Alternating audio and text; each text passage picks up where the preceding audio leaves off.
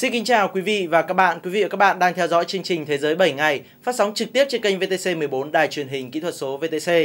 Thưa quý vị, tuần vừa qua thì thời sự quốc tế diễn ra hết sức sôi động với nhiều sự kiện diễn ra ở khắp các châu lục và ngay sau đây chúng ta sẽ cùng theo dõi lại những tin tức nổi bật.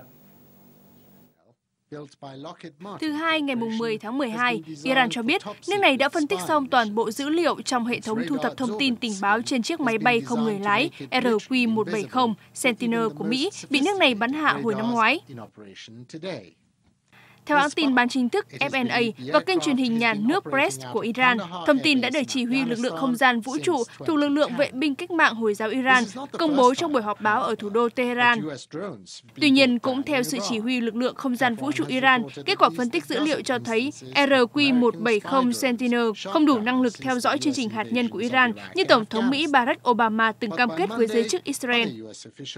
Ông Haji Jader cũng tuyên bố rằng máy bay do thám mà nhóm phiến quân Hezbollah gửi đi do thám Israel hồi tháng 10 là một sản phẩm cũ của Iran và không hề lượm lặt công nghệ từ RQ-170. RQ-170 Sentinel có lớp phủ đặc biệt được thiết kế hình cánh rơi để giúp máy bay thâm nhập qua hệ thống phòng không của các nước mà không bị phát hiện. Tuy nhiên, chiếc máy bay này đã bị không quân Iran bắn rơi hồi tháng 12 năm 2011 ở miền đông Iran, gần biên giới Afghanistan. Tuần trước, Iran cũng bắn hạ một chiếc máy bay không người lái khác của Mỹ khi máy bay này bay vào không phận của Iran trên vùng vịnh. Ước tính có 1 triệu 900 hộ gia đình ở Philippines bị ảnh hưởng bởi siêu bão Bofa, tương đương 5 triệu 400 nghìn người. Trong số này, khoảng 77.000 gia đình đang phải sống tạm trong 173 trung tâm sơ tán của chính phủ. Thiệt hại về nông nghiệp cơ sở hạ tầng, tài sản cá nhân được cho là lên tới 6,8 tỷ peso, tương đương 148,6 triệu đô la Mỹ. Quân đội, cảnh sát sử dụng chó nghiệp vụ đang tích cực hỗ trợ công tác tìm kiếm nạn nhân, một quan chức quân đội Philippines cho biết, cứ mỗi giờ trôi qua, cơ hội tìm được người sống sót lại ít đi. Vì vậy, công tác cứu hộ cứu nạn phải nỗ lực gấp đôi. Trong khi đó, công tác cứu trợ cũng được nhanh chóng xúc tiến. Chính quyền vùng bị thiệt hại nặng nề nhất là tỉnh thung lũng Compostela cho biết 1,2 triệu peso viện trợ từ trong nước và quốc tế đã được phân phối qua Hội chữ thập đỏ, giúp đỡ kịp thời những gia đình đang vật lộn với khó khăn sau thảm họa. Tại tỉnh Davao Oriental, rác thải vẫn nằm ngổn ngang trên đường phố, các cửa hàng, nhà thờ và trường học vẫn tan hoang. Những cây dừa bị nhổ bật rễ, nguồn thực phẩm và sinh kế của người dân đã bị cơn bão phá hủy hoàn toàn. Một số người bán hàng cũng đã gom góp số hàng ít ỏi còn lại sau cơn bão để bắt đầu lại công việc kinh doanh của mình. Trong khi đó, các cơ quan phúc lợi xã hội của Philippines và Liên Hợp Quốc đang kêu gọi sự giúp đỡ từ những tổ chức nhân đạo để cung cấp thực phẩm, nước uống, thuốc, nơi trú ẩn cho hơn 5,4 triệu người dân bị ảnh hưởng bởi cơn bão, đồng thời giúp họ khôi phục lại những cơ sở hạ tầng bị thiệt hại do thiên tai.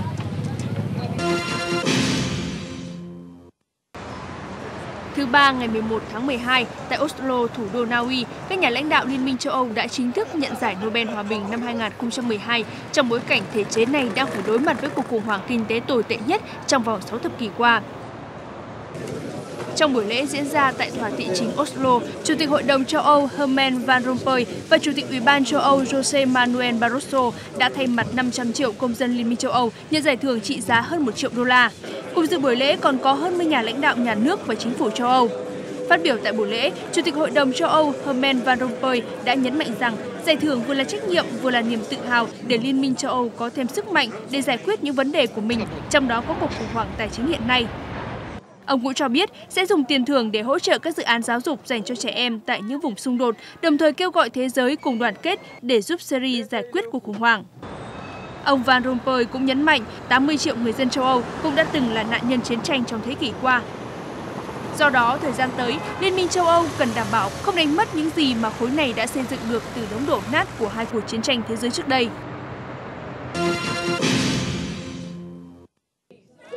Thứ Tư ngày 12 tháng 12 năm 2012 được xem là một ngày đặc biệt bởi lẽ đây là ngày cuối cùng của thế kỷ 21 khi ba con số ngày, tháng, năm lặp lại nhau. Nhân dịp tam trùng hiếm có này, hàng trăm các cặp uyên ương ở châu Á đã đổ xô đi làm đám cưới. 12 tháng 12 năm nay là ngày tam trùng cuối cùng mà chúng ta được chứng kiến trong đời, bởi vì từ năm 2013 sẽ không có tháng 13 để trò chơi con số tiếp diễn. Một nguyên nhân khác khiến các đôi nam nữ gấp rút chuẩn bị kết hôn vào ngày 12 tháng 12 năm 2012 bởi họ cho rằng ngày này mang ý nghĩa tình yêu và một số người tin rằng nó có thể đảm bảo cho cuộc sống hôn nhân sau này được hạnh phúc. Theo thống kê từ Cục Đăng ký Kết hôn Hồng Kông, 696 cặp uyên ương đã thông báo kết hôn vào ngày này, gấp 4 lần so với số đám cưới trung bình hồi tháng 10. Tương tự, tại Singapore và Thái Lan, hàng trăm cặp đôi cũng quyết định xe duyên vào ngày tam trùng. Kết quả 12 tháng 12 năm 2012 trở thành ngày bội thu cho ngành kinh doanh dịch vụ cưới. Không chỉ mang ý nghĩa may mắn trong văn hóa phương Đông, nhiều cặp đôi trên khắp thế giới cũng chọn ngày 12 tháng 12 làm ngày trọng đại của đời mình, không chỉ bởi đây là ngày đặc biệt, dễ nhớ, mà điều quan trọng, nó đến trước ngày 21 tháng 12, thời điểm được cho là ngày tận thế. Tại Mỹ, 5.000 cô dâu cũng súng xính áo cưới bước vào nhà thờ, một kỷ lục hiếm có trong ngành tổ chức tiệc cưới tại nước này. Thứ Tư ngày 12 tháng 12, hãng thông tấn chính thức của Triều Tiên KCNA xác nhận nước này đã phóng tên lửa tầm xa và đưa thành công một vệ tinh vào quỹ đạo. Động thái này đã ngay lập tức vấp phải sự lên án mạnh mẽ của một số nước như Mỹ, Nhật Bản và Hàn Quốc bởi cho rằng đây thực chất là một vụ thử tên lửa liên lục địa, vi phạm nghị quyết của Liên Hợp Quốc, đồng thời đe dọa đến sự ổn định khu vực và thế giới. Thông báo của KCNA cho biết phiên bản thứ hai của vệ tinh Quang Minh Sơn 3 đã được phóng bằng tên lửa đẩy Unha-3 từ trung tâm vũ trụ Soha vào lúc 9 giờ 49 phút giờ địa phương, tức 7 giờ 49 phút giờ Việt Nam và vệ tinh đã vào đúng quỹ đạo. Hãng tin Yonhap của Hàn Quốc dẫn lời các quan chức quân sự nước này cũng cho rằng vụ phóng tên lửa của Triều Tiên đã thành công. Trong khi đó, các quan chức Nhật Bản thừa nhận tên lửa của Triều Tiên lần này đã bay qua quần đảo Okinawa, sau đó rơi xuống Thái Bình Dương, cách bờ biển Philippines 300 km về phía đông và không có mảnh vỡ nào của tên lửa đẩy rơi xuống lãnh thổ Nhật Bản. Hiện chưa có phản ứng chính thức nào từ Washington. Trong khi đó, phát ngôn viên của chính phủ Nhật cho biết nước này sẽ không tha thứ cho vụ phóng tên lửa của Triều Tiên. Còn tại Hàn Quốc, Tổng thống Lee Myung-bak đã ngay lập tức triệu tập cuộc họp khẩn cấp sau khi thông tin Triều Tiên phóng tên lửa được công bố. Triều Tiên bị Liên Hợp Quốc cấm tiến hành các vụ thử tên lửa sau khi nước này tiến hành hai vụ thử hạt nhân vào năm 2006 và 2009. Lần này, ngay cả đồng minh lớn nhất của nước này là Trung Quốc cũng tỏ ra tiếc vì vụ phóng. Mặc dù Bình Nhưỡng tuyên bố vụ phóng lần này chỉ là sứ mạng khoa học nhằm đưa một vệ tinh lên quỹ đạo, song theo quan chức các nước láng giềng, đây thực ra là một vụ phóng tên lửa đạn đạo trá hình. Theo đó, Nhật Bản, Mỹ và Hàn Quốc đã nhất trí yêu cầu Hội đồng Bảo an tăng cường trừng phạt Triều Tiên lên mức tương tự đối với Iran. Tuy nhiên, điều này còn phụ thuộc phần lớn vào Trung Quốc, nước có quyền phủ quyết ở Hội đồng Bảo an Liên Hợp Quốc. Thứ năm ngày 13 tháng 12, vào lúc 11 giờ 6 phút sáng theo giờ địa phương, các phi cơ chiến đấu của Nhật Bản đã được lệnh cất cánh sau khi một máy bay của Trung Quốc đi vào không phận phía trên quần đảo Senkaku hay Điếu Ngư. Tránh văn phòng nội các Nhật Bản Osamu Fujimura cho biết, sau khi phát hiện được máy bay của Trung Quốc đi vào không phận phía trên các hòn đảo tranh chấp trên biển Hoa Đông, lực lượng phòng không Nhật Bản ngay lập tức đã triển khai các chiến cơ F-15. Ông Fujimura đồng thời lên tiếng phản đối và cho rằng hành động trên của Trung Quốc là cực kỳ tồi tệ. Bên cạnh đó, Thủ tướng Nhật Bản Yoshihiko Noda cũng đã ra lệnh cho các bên liên quan trong chính phủ tiếp tục thực hiện hoạt động cảnh báo và giám sát. Trước đó cùng ngày, lực lượng tuần duyên của Nhật Bản đã thông báo có 4 tàu hải giám của Trung Quốc tiến vào vùng lãnh thổ tranh chấp và lực lượng này đã lệnh cho các tàu phải rời đi.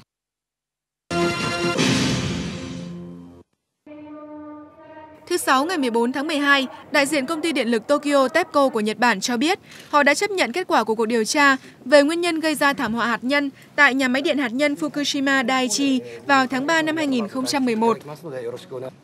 Báo cáo điều tra cho biết, chính sự thiếu đảm bảo an toàn và những thói quen xấu trong quá trình làm việc của TEPCO là nguyên nhân gây ra thảm họa trên. Ông Takefumi Anegawa, đại diện công ty điện lực Tokyo đã thừa nhận lỗi trên khi trả lời phóng viên về việc công ty đã chấp nhận kết quả điều tra của một ủy ban quốc hội rằng thảm họa hạt nhân tại nhà máy Fukushima Daiichi là do con người gây ra hay chưa. Tính đến nay, đây là lần nhận lỗi thẳng thắn nhất của lãnh đạo nhà máy về tai nạn hạt nhân tồi tệ nhất thế giới trong vòng 25 năm qua. Cũng trong nội dung báo cáo trên, người đứng đầu Ủy ban Giám sát Cải cách hạt nhân của TEPCO, Dale Klein cho biết, thời gian qua TEPCO đã thực hiện nhiệm vụ tự đánh giá và chia sẻ thông tin về hoạt động của mình. Trong tháng 10 vừa qua, 18 tháng sau thảm họa, công ty TEPCO cũng đã lần đầu tiên thừa nhận rằng lẽ ra họ hoàn toàn có thể tránh được thảm họa trên.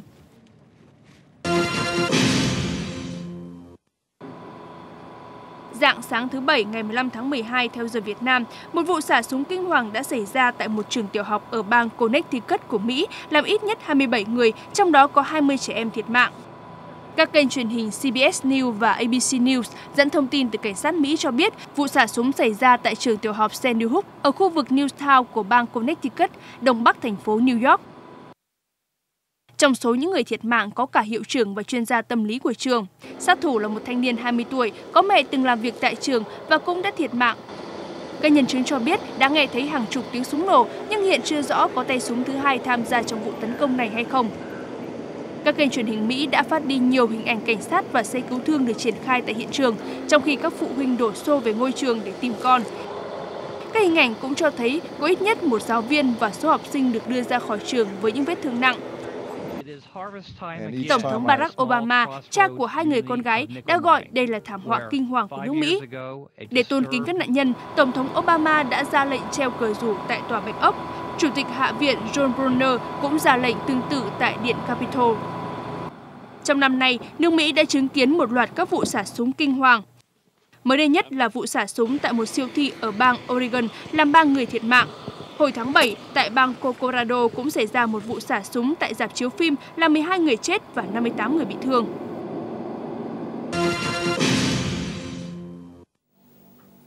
Thưa quý vị và các bạn, Hội nghị thượng đỉnh của Liên Hợp Quốc về biến đổi khí hậu tại thủ đô Doha của Qatar đã khép lại. Nhiều, như nhiều hội nghị trước đó thì chúng ta lại ghi nhận được một kết quả khiêm tốn. Và nói đúng hơn thì là thế giới vẫn chưa tìm được tiếng nói chung trong vấn đề chống lại quá trình biến đổi khí hậu toàn cầu. À, hôm nay chương trình Thế, bảy Thế giới 7 ngày sẽ xin dành một phần thời lượng để nhìn lại à, những cái gì đã diễn ra à, trong à, hội nghị vừa qua với sự tham gia của nhà báo Nguyễn Chiến đến từ Thông tấn xã Việt Nam. Cảm ơn ông đã nhận lời mời tham dự chương trình. Trước khi đến với phần trao đổi, xin mời quý vị và các bạn theo dõi một phóng sự ngắn sau đây của chúng tôi. Sau gần 2 tuần tranh luận gay gắt, hội nghị lần thứ 18 Công ước Khung Liên Hợp Quốc về biến đổi khí hậu COP18 đã bế mạc tại thủ đô Doha của Qatar với cam kết gia hạn Nghị định thư Kyoto đến năm 2020. Theo nhận định của các nhà quan sát, thắng lợi này tuy nhỏ nhưng được xem là có tính biểu tượng cho nỗ lực của thế giới về chống biến đổi khí hậu. Tại hội nghị, các đại diện của 27 quốc gia thành viên Liên minh châu Âu EU, Australia và Thụy Sĩ cùng 8 nước công nghiệp khác trên thế giới đã ký thỏa thuận gia hạn Nghị định thư Kyoto từ ngày 1 tháng 1 năm 2013 đến năm 2020, trong khi chờ một thỏa thuận quốc tế mới về cắt giảm khí thải nhà kính, còn được gọi là Nghị định thư hậu Kyoto.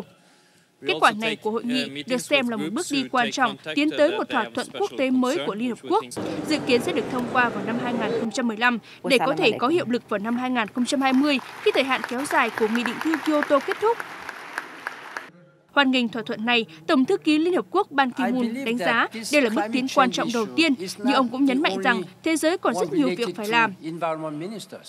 Tuy nhiên, đối với vấn đề cắt giảm khí thải, nhiều chuyên gia nhận định những gì mà văn bản gia hạn hiệu lực cho Nghị định thư Kyoto có giá trị không nhiều, bởi nhiều quốc gia chiếm đến 85% lượng khí thải nhà kính đã đứng ngoài cuộc. Bên cạnh đó, khi nhìn lại những gì Nghị định thư Kyoto đạt được, thì chúng ta có thể thấy những mục tiêu đề ra đã không đạt được.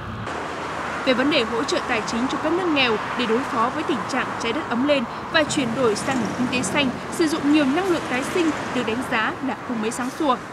Các nước Mỹ, Anh, Đức, Pháp, Thụy Điển, Hà Lan và Đan Mạch cam kết tiếp tục tài trợ cho các nước nghèo, song không nêu cụ thể số tiền với lý do đang gặp khó khăn về tài chính. Các nước đang phát triển cho rằng họ cần thêm ít nhất 60 tỷ đô la Mỹ từ nay đến năm 2015 để đối phó với hạn hán, lũ lụt, bão và nước biển dâng. Trước đó, các nền kinh tế phát triển đã cam kết hỗ trợ 100 tỷ đô la Mỹ một năm từ nay đến năm 2020, tăng mạnh so với khoản viện trợ 30 tỷ đô la Mỹ giai đoạn 2010-2012. Mặc dù khủng hoảng kinh tế kéo dài, nhưng mật độ tập trung khí thải gây hiệu ứng nhà kính trong khí quyển trái đất đã lên mức kỷ lục trong năm 2011 với mức 390,9 phần triệu theo thống kê của Tổ chức Khí tượng Thế giới. Vâng, à, như vậy là Nghị định thư Kyoto đã được gia hạn để à, thực hiện giai đoạn 2. Theo ông, hành động trên thì có ý nghĩa ra sao? Như chúng ta đã biết thì tại cái hội nghị à, uh, COP18 ở Doha, Qatar thì đến phút chót thì những người tham gia hội nghị đã thông qua được cái quyết định là gia hạn thêm 8 năm cái nghị định thư Kyoto để coi đó như là một cái cơ sở pháp lý cho cái cuộc chiến chống biến đổi khí hậu trong đó đặc biệt là vấn đề hạn chế khí thải độc hại và bầu khí quyển của trái đất. Thì, thì việc gia hạn này nó phản ánh cái gì? Thì có thể phải nói thế này một cái điều mà nhiều người cho rằng là thế giới cho đến ngày hôm nay vẫn hết sức chia rẽ trong cuộc chiến chống biến đổi khí hậu. Mặc dù ai cũng nhận biết rất rõ rằng chống biến đổi khí hậu là mang tính sống còn đối với sự sống trên hành tinh chúng ta. Nhưng mà vì lý do, vì lợi ích cá của các quốc gia cho nên các quốc gia chưa thống nhất được những cái biện pháp cụ thể để có thể chống biến đổi khí hậu như thế nào mà đặc biệt là hạn chế khí thải ra làm sao. Cho nên là tiếp nối các cái hội nghị COP từ COP 15, 16, 17 cho đến hôm nay năm nay là COP 18 thì những cái thành công của COP 18 mà biểu hiện cụ thể là việc gia hạn nghị định thư Kyoto cho đến năm 2020 thì đấy là cái điều bắt buộc các đại biểu phải có được cái quyết định tối thiểu này. Bởi vì nếu không thì nghị định thư Kyoto hết hạn vào ngày 31 tháng 12 năm nay. Sau đó, nếu không còn được, không còn hiệu lực, thì thế giới gần như không có trong tay những cái vũ khí để hạn chế khí thải. Cho nên là trước cái áp lực như là một cái bước tối hậu thư cho cả thế giới, thì những đại biểu được các quốc gia giao trọng trách tham dự cái hội nghị COP18 tại Doha là phải đi đến một cái quyết định là gia hạn cái nghị định thư Kyoto để coi đó như là một cái phao bám giữ cuối cùng để thực hiện cuộc chiến chung chống biến đổi khí hậu. Cho nên người ta có thể nói rằng là đây là một thành công, nhưng mà là thành công gần như trong miễn cưỡng, có thể phải nói là trong miễn cưỡng, bởi vì không còn cách nào khác mà cũng không thể để hội nghị kết thúc mà không đạt được một cái gì cả khi mà cái nghị định, thời hạn thực hiện nghị định thư Kyoto đã hết hạn sắp ở trước mắt cho nên tôi cho rằng cái này cũng là cái thành công tối thiểu nhưng cũng là cái bước tối hậu thư cho cả thế giới trong cuộc chiến chống biến đổi khí hậu. Vâng, nói về à, việc gia hạn này thì à, chúng ta cũng có thể thấy rằng là à, kỳ hội nghị lần này cũng giống như kỳ hội nghị tại Durban, Nam Phi năm ngoái, đó là lại diễn ra kéo dài thêm một ngày và nhiều báo chí quốc tế cũng đã nói rằng uh, nhiều phái đoàn đã chuẩn bị lên máy bay rồi đã nhưng trước sức ép của tổ chức Liên Hợp Quốc rồi của các nước của nước chủ nhà thì các nước ờ, lại phải ngồi lại với nhau để quyết tâm để gia hạn thêm cái nghị định này để nhằm cho thế giới có một cái công cụ uh, khống chế cũng như là giảm phát thải khí thải nhà kính từ năm 2013 cho đến năm 2020. À, vâng, à, tuy uh, chúng ta có một cái uh, công cụ để uh, giảm khí thải cho từ nay đến năm 2020 nhưng à, với một việc là một loạt các quốc gia có lượng xả thải lớn vẫn đứng ngoài à, cuộc đặc biệt là quốc gia đặc biệt là khi mà cái lượng xả khí thải nhà kính của cái quốc gia này chiếm đến các quốc gia này chiếm đến 85% à, thì theo ông thì các quốc gia còn lại vẫn đeo đuổi cái mục tiêu cắt giảm khí thải nhà kính toàn cầu phải chăng là đang theo đuổi một điều vô nghĩa vô vọng? Tôi nghĩ rằng là nếu nói là theo đuổi một cái điều vô vọng thì là hơi quá đáng nhưng nó rõ ràng là cái điều này phản ánh những cái nỗ lực của đại đa số các nước trên thế giới nhưng lại là những cái nước đang phát triển. Đòi các nước phát triển cắt giảm khí thải là gặp lại một bức tường rất lớn. Bởi vì các nước uh, phát, công nghiệp phát triển ý, là những nước phát thải nhiều khí thải nhất thì lại gần như là không tham gia hoặc là cản trở cái việc giảm khí thải. Điều này cho thấy rằng như là thế giới chia làm hai phe. Một cái phe thì đòi cắt giảm hơn nữa khí thải thải vào bầu khí quyển để bảo vệ cái môi trường sống của hành tinh. Trong khi đó thì các nước công nghiệp phát triển là những thủ phạm thải ra nhiều khí thải nhất thì lại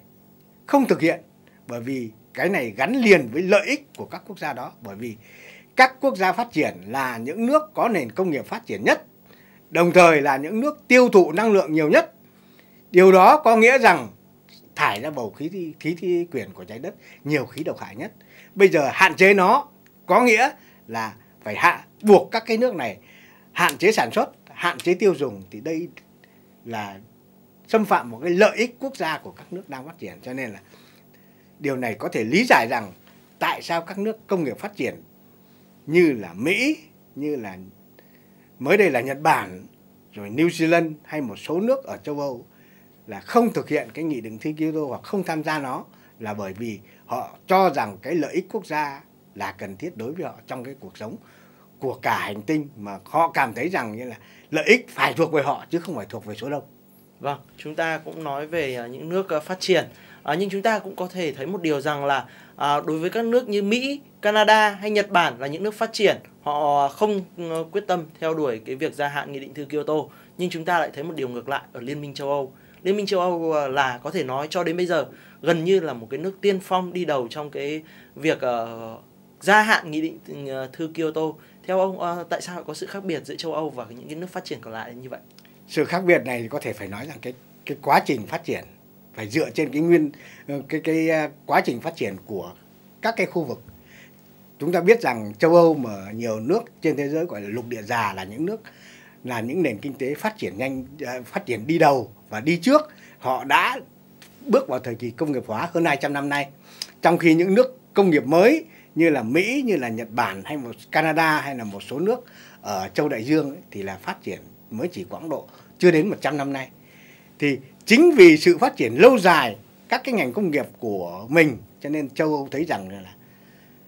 sự phát triển công nghiệp có thể mang lại lợi ích rất to lớn nhưng đồng thời nó có để lại những hậu quả cũng hết sức to lớn đó là tác động đến môi trường. Cho nên là từ cái nhận thức ấy mà các nước ở châu Âu là đang đi đầu trong cuộc chiến chống lại biến đổi khí hậu mà cố gắng là giảm phát thải khí gây hiệu ứng nhà kính. Như chúng ta đã biết thì tại cái hội nghị Durban à, hội nghị Doha vừa rồi thì chính Liên minh châu Âu đã đề xuất một cái mức cắt giảm là đến 20% so với cái lượng khí thải năm 1990 đến năm 2020 là giảm 20% và đến năm 2030 là giảm 30% thì đây là một cái đề nghị phải nói là xuất phát từ cái lợi ích của châu Âu, nhưng đồng thời cũng là tạo ra một cái ngọn cờ cho cả thế giới đi theo trong cái cuộc chiến chống biến đổi khí hậu. Vâng, chúng ta có thể thấy là vai trò của châu Âu đã là hết sức rõ rệt trong vấn đề này. À, chúng ta còn cũng còn được biết rằng là à, trước khi gia hạn nghị định thư Kyoto, châu Âu có một cái quota về vấn đề xả khí thải nhưng châu Âu đã quyết tâm là sẽ không sử dụng cái này và để cố gắng làm sao thúc đẩy được cái vấn đề uh, giảm khí thải nhà kính lên bầu khí quyển trái đất một cách tối đa nhất.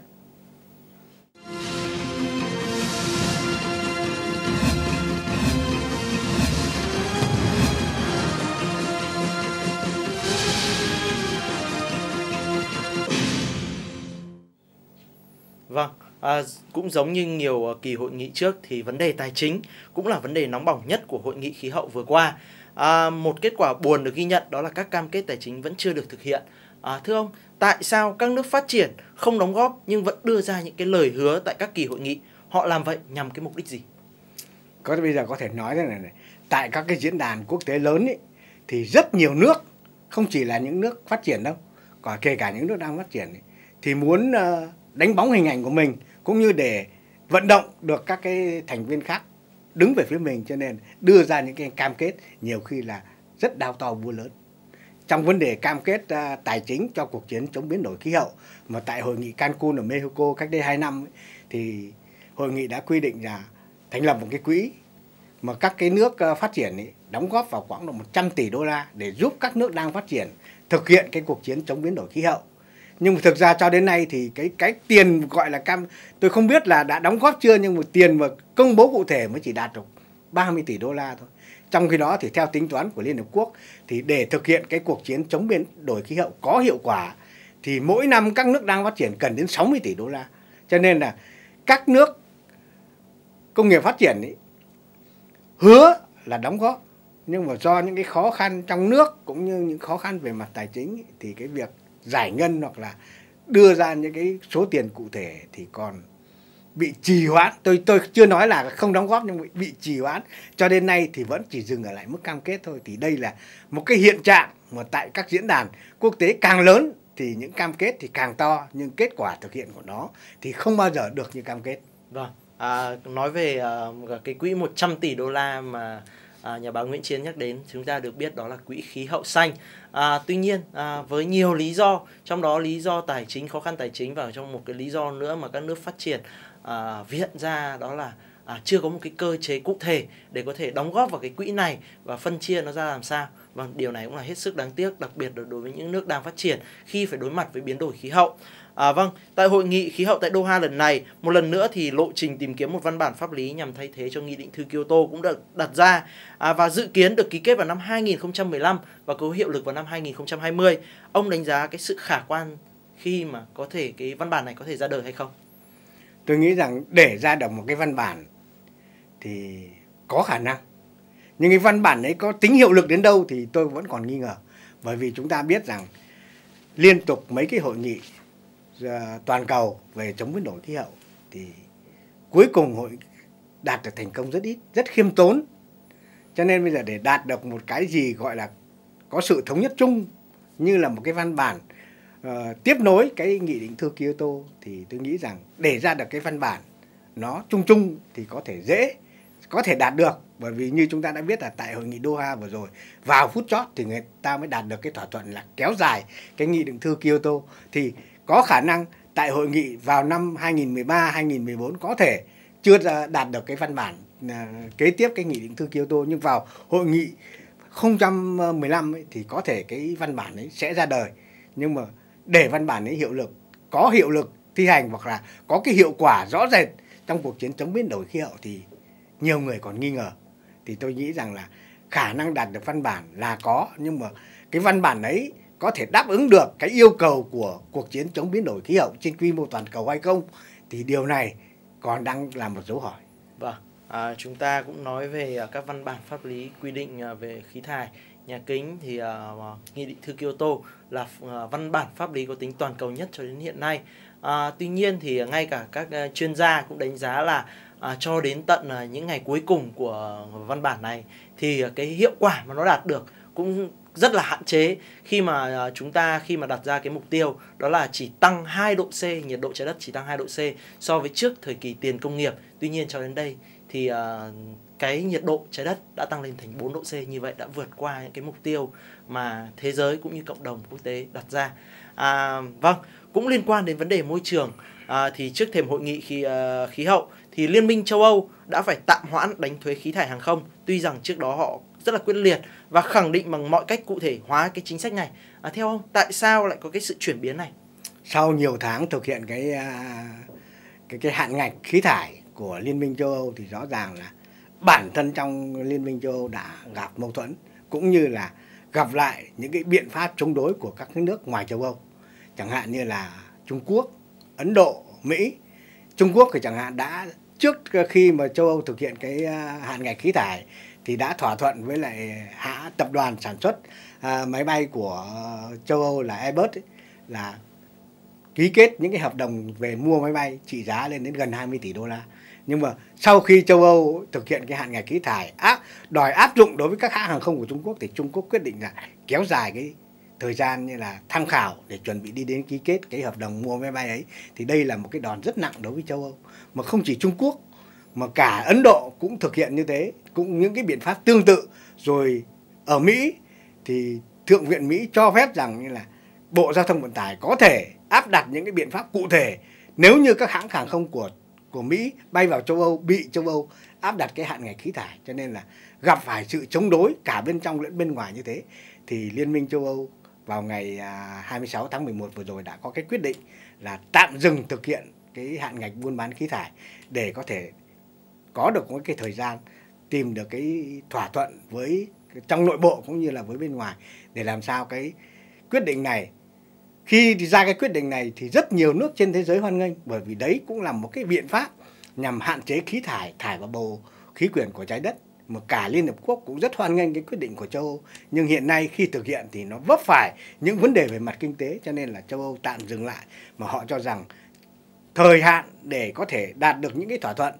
là một năm cho đến mùa thu sang năm, thì nếu không đạt được thỏa thuận thì châu cũng tiếp tục thực hiện cái quyết định này. Cho nên tôi cho rằng cái quyết định của châu Âu hiện nay dừng cái hạn ngạch ừ, khí thải, tôi cho là một cái quyết định cũng không chỉ mang ý nghĩa về mặt kinh tế mà nó còn là một cái cái bước để họ chuẩn bị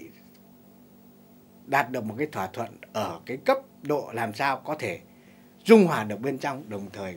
hợp tác được với bên ngoài. Vâng, như vậy chúng ta có thể thấy là một những cái ờ, vấn đề về ờ, môi trường cũng không hề dễ dàng để đưa vào thực hiện cho dù đã có những cái văn bản à, thực thi nó. À, vâng thưa quý vị và các bạn, à, tuần vừa qua thì à, vụ phóng tên lửa Unha 3 của Triều Tiên có thể nói là tâm điểm của thời sự quốc tế. À, đây được đánh giá là sự kiện có tính ảnh hưởng trên nhiều phương diện, đặc biệt là an ninh khu vực. À, phần tiếp theo của chương trình, chúng tôi xin dành thời lượng để nói về sự kiện này.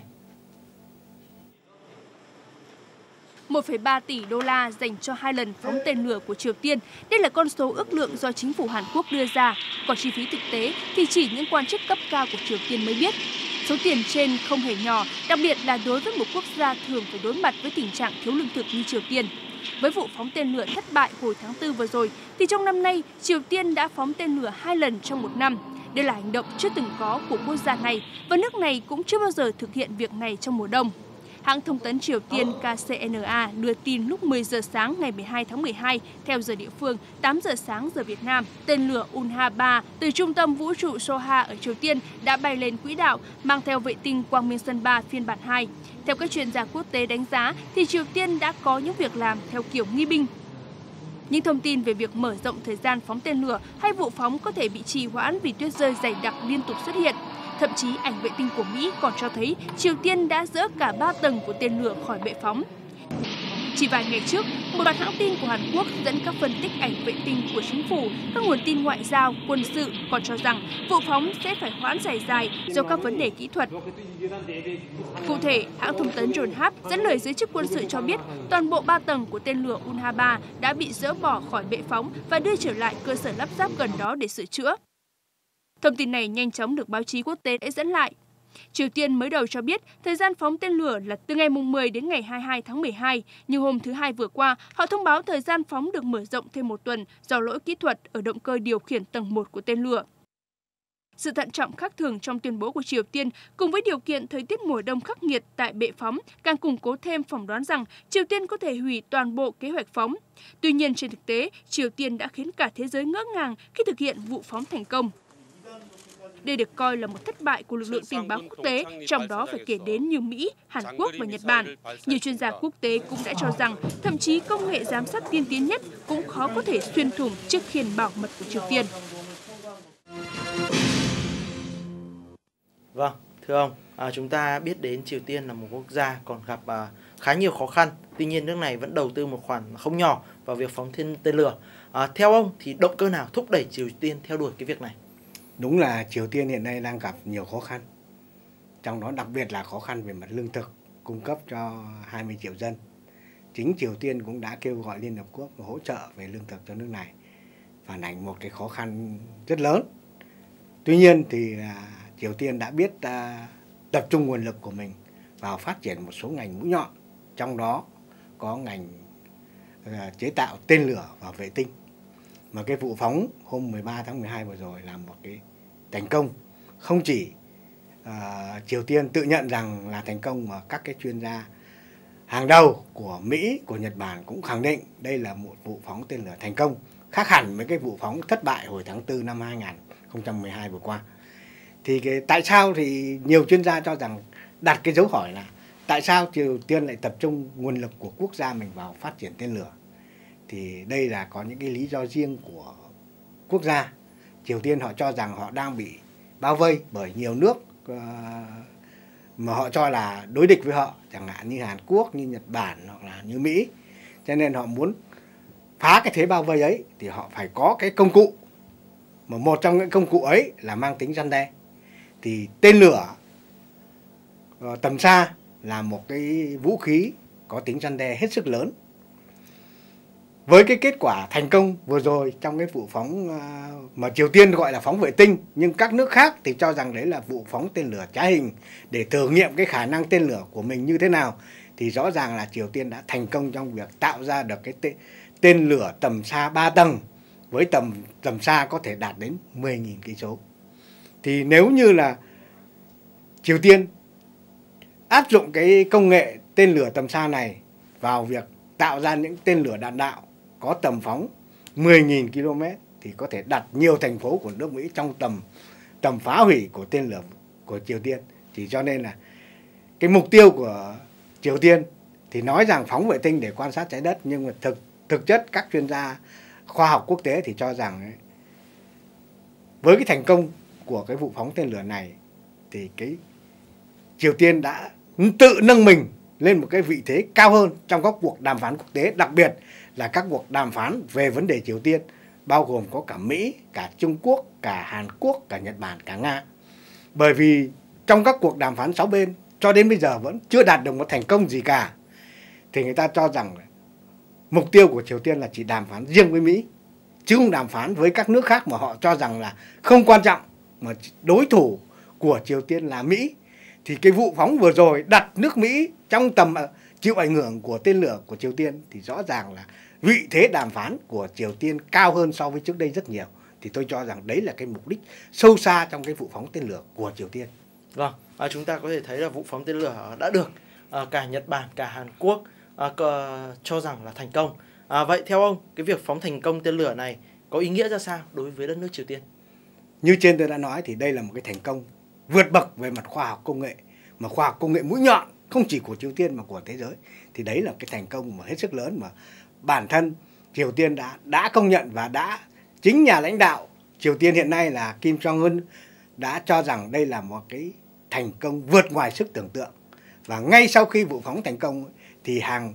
chục vạn người đã tập trung ở quảng trường Kim Nhật Thành ở thủ đô Bình Nhưỡng là chào mừng cái kết quả của đất nước, một cái thành công của đất nước. Tôi cho nghĩ rằng đây cũng là cái điều khích lệ rất lớn lòng yêu nước của nhân dân Triều Tiên. Cái thứ hai nữa mà như nhiều chuyên gia quân sự phân tích thì với sự thành công trong việc tạo ra cái tên lửa tầm xa 3 tầng ấy thì Triều Tiên tự cho mình có nhiều khách hàng đặt mua cái sản phẩm của mình và sẽ tạo ra một cái nguồn thu ngoại tệ rất hết sức lớn mà hiện nay thì như Triều Tiên nói là rất nhiều khách hàng tiềm năng như là Iran như là Venezuela thì họ đã dạm hỏi để có thể mua lại cái công nghệ tên lửa của Triều Tiên và việc mua bán này có thể tạo ra cho Triều Tiên một cái nguồn lực tài chính lớn để có thể giúp vào việc phát triển các cái ngành khác của đất nước Triều Tiên. Tuy trên là xét cả về mặt chính trị, quân sự, kinh tế thì cái vụ phóng tên lửa thành công vừa rồi đã đạt được rất nhiều yêu cầu mà lãnh đạo Triều Tiên đặt ra cho các nhà khoa học Triều Tiên. Vâng, nhưng nói về uh, cái sự thành công của vụ phóng tên lửa uh, vừa rồi thì nhiều quốc gia đã cho rằng là Triều Tiên phóng tên lửa uh, uh, lần này đã gây ảnh hưởng lớn đến an ninh khu vực. Ông có cho rằng là cái nhận định trên có có có quá khắt khe hay không? Tôi cho rằng điều này là bình thường. Bởi vì như chúng ta đã biết thì tên lửa của Triều Tiên như Triều Tiên nói là phục vụ mục đích hòa bình nhưng mà các chuyên gia nước ngoài thì cho rằng phục vụ cả mục đích quân sự nữa. Thì nếu như phục vụ mục đích quân sự nữa thì sẽ tạo ra một cuộc ganh đua. Tôi nói là ganh đua chứ chưa chạy đua vũ trang. Ở khu vực, trong đó Hàn Quốc là nước có tiềm lực kinh tế lớn, tiềm lực khoa học kinh tế tiên tiến. Mà nếu cứ tham gia vào thì bán đảo Triều Tiên đã căng thẳng và tiếp tục căng thẳng hơn. Rồi Nhật Bản nữa cũng sẽ tiếp tục chạy đua vào cái cuộc đua thám hiểm không gian vũ trụ. Rồi cả cái khu vực Đông Bắc Á cùng với khu vực Đông Nam Á đang có cuộc chạy đua vũ trang. Bởi như chúng ta đã biết rất nhiều nước ở Đông Nam Á hiện nay là bỏ tiền ra trang bị lại cho hải quân trang bị lại cho không quân những cái vũ khí rất hết sức hiện đại. Đi đầu trong cái cuộc đua này là Trung Quốc. Trung Quốc đã phát triển rất mạnh hải quân và không quân trong đó. Thể hiện là trong năm nay họ đã hạ thủy và đã thử nghiệm rất nhiều lần. Tàu hải quân à, tàu sân bay đầu tiên của mình. Cho nên là sự phát triển của Trung Quốc kéo theo sự phát triển của rất nhiều nước về lĩnh vực quân sự và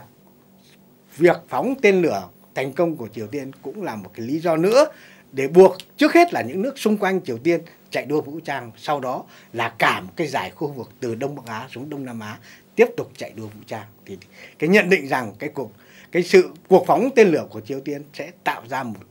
cái làn sóng mới trong, cho cuộc chạy đua vũ trang của khu vực này. Vâng, như vậy à, chúng ta có thể thấy là à, cái tác động à, của nó đến an ninh khu vực là có thật và nó ảnh hưởng rất là khá là sâu sắc. thưa ông, các quốc gia trên thế giới thì có một cái quyền đó là quyền phóng vệ tinh và điều này cũng được Triều Tiên đưa ra khi thực hiện cuộc phóng tên lửa lần này và họ cho rằng đấy là cái quyền chính đáng của mình. theo ông thì Triều Tiên có đủ căn cứ và cũng hoàn toàn chính đáng trong việc phóng vệ tinh lần này hay không? Triều Tiên hoàn toàn có lý do chính đáng để phát triển cái tiềm lực khoa học công nghệ của mình, trong đó có việc phát triển cái công nghệ tên lửa giống như cái tất cả các quốc gia khác. Nhưng mà tại sao khi Triều Tiên phóng thành công tên lửa thì rất nhiều nước phản đối, rất nhiều nước chỉ trích. Bởi vì nhiều nước chúng ta cũng, cũng có thể điểm mặt được là những nước đã có công nghệ tên lửa, đã có công nghệ tiên tiến rồi nhưng không muốn các nước khác đuổi kịp mình. Cho nên là lợi dụng các cái nghị quyết những cái văn bản có dính líu trên họ đưa ra rằng phản đối rằng Triều Tiên đi phát triển tên công nghệ tên lửa là đi ngược lại với những cái nghị quyết của thế giới, đi ngược lại những cái nghị quyết của Liên Hợp Quốc như là nghị quyết 1718 hoặc là 1874 à, của Liên Hợp Quốc hạn chế cái quyền được phát triển công nghệ tên lửa của Triều Tiên. Tôi cho rằng như là các nghị quyết của Liên Hợp Quốc thì nó bao quát nhiều vấn đề, trong đó có vấn đề để thực hiện được thì có vấn đề là hạn chế Triều Tiên phát triển công nghệ tên lửa. Nhưng điều đó không có nghĩa rằng như là hạn chế bất kỳ quốc gia nào không được phát triển. Cái tiềm lực khoa học công nghệ của mình phục vụ cho công việc phát triển và xây dựng đất nước. Cho nên tôi cho rằng Triều Tiên họ nói họ có quyền là chính đáng. Nhưng việc Triều Tiên thực hiện cái quyền chính đáng của mình trong cái bối cảnh hiện nay rất căng thẳng ở Đông Bắc Á thì đó, điều đó lại gây tác hại cho cái môi trường chiến lược hòa bình xung quanh. Cho nên tôi các nước phát triển à, các nước khác chỉ trích cái việc phát triển tên lửa của Triều Tiên họ cũng có cái lý của nó chứ không phải là họ chờ chỉ trích trên cái cơ sở lợi ích quốc gia của họ mà họ cũng dựa vào những cái lợi ích để bảo vệ môi trường hòa bình của cả thế giới. Dạ vâng. Như vậy chúng ta có thể thấy rằng là à, các nước à, khi sử dụng quyền hạn của mình cũng cần phải tính đến cái lợi ích của cả khu vực, à, lợi ích của quốc tế. Như vậy thì nó mới đảm bảo được rằng là à, những cái quyền đấy được thực thi một cách hoàn toàn chính đáng. À, vâng, tuần qua thì chúng ta cũng hết sức là đau buồn khi nhận được cái thông tin về vụ thảm sát bằng súng à, tại à, một trường tiểu học của Mỹ với 20 trẻ em nhỏ thiệt mạng. À, những cái vụ thảm sát bằng súng tại Mỹ dường như đã trở thành thường xuyên hàng năm đối với quốc gia này. Chúng ta hẳn vẫn chưa quên cái vụ xả súng hồi đầu năm tại dạp chiếu phim à, khiến 12 người chết. À, và có một thực tế được ghi nhận đó là sau khi diễn ra cái vụ thảm sát này thì người Mỹ lại mua súng nhiều hơn và họ cho rằng mua súng như vậy là để tự vệ. À, vâng, thưa nhà báo Nguyễn Chiến, ông nhìn nhận ra sao về cái vụ thảm sát bằng súng ở Mỹ như vậy? Đúng là cái vụ thảm chúc à, thảm sát vừa rồi là hết sức đau lòng. Và cái cái cái sự tần suất xuất hiện những cái vụ thảm sát như thế thì đang ngày một nhiều hơn. Chúng ta đã biết là trước đây thì nhiều năm mới xảy ra một vụ.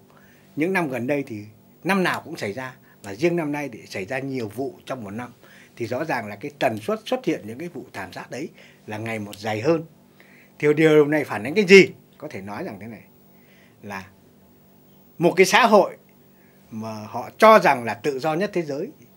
như Mỹ thì cũng có những cái hậu quả mà bản thân người Mỹ chưa thể lường hết được. Người Mỹ cho rằng mình có quyền sử dụng súng để tự vệ,